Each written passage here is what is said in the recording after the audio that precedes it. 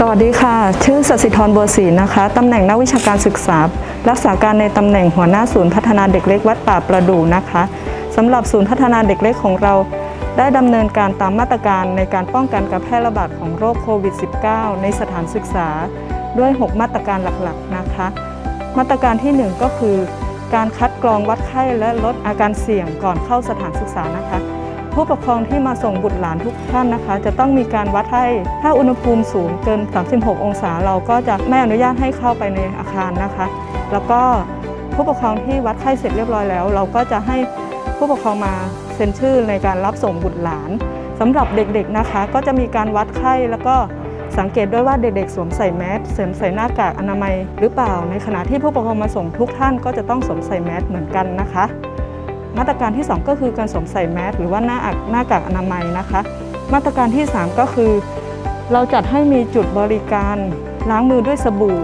และเจลแอลกอฮอล์นะคะ ไม่ว่าจะเป็นในห้องเรียน เราก็มีเจลแอลกอฮอล์ที่จะให้เด็กได้ล้างมือทุก ๆ 2 ชั่วโมง เด็กทำกิจกรรมอะไรเสร็จแล้ว เราก็จะให้เด็กล้างมือด้วยเจลแอลกอฮอล์ทุกครั้งนะคะ มาตรการที่ 4 จัดให้มีการเว้นระยะห่างเมื่อเด็กๆเข้ามาภายในศูนย์พัฒนาเด็กเล็กของเราแล้ว เด็กๆก็จะได้เดินตามสัญลักษณ์ที่เราจัดเตรียมไว้ให้ เพื่อเป็นการรักษาระยะห่าง และเข้าไปในอาคารเรียน ที่นั่งของเด็กๆ ก็จะมีการเว้นระยะห่างประมาณ 2 เมตรนะคะ เพราะเด็กๆของเราปีนี้จำนวนน้อย และคุณครูเพียงพอกับการดูแลเด็กนะคะ มาตรการที่ 5 การทำความสะอาดพื้นผิวที่มีการใช้ร่วมกันบ่อยๆทางศูนย์พัฒนาเด็กเล็กได้จัดให้มีการเช็ดทำความสะอาดผิวฆ่าเชื้อด้วยแอลกอฮอล์สเปรย์ฉีดพ่นทุก 2 ชั่วโมงนะคะ มาตรการที่ 6 ลดความแออัดนะคะ เด็กๆ เข้าไปในอาคารเรียนแล้ว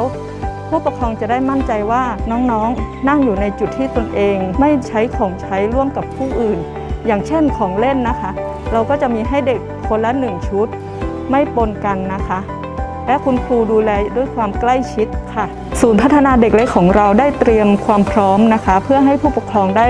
มีความมั่นใจในการส่งบุตรหลานเข้ามาเรียนกับเรานะคะ เด็กๆ ทุกคนกลับบ้านไปก็จะได้มีความสุขนะคะ แล้วก็ไม่เป็นการแพร่เชื้อโรคให้กับเพื่อนๆด้วยค่ะ ขอบคุณค่ะ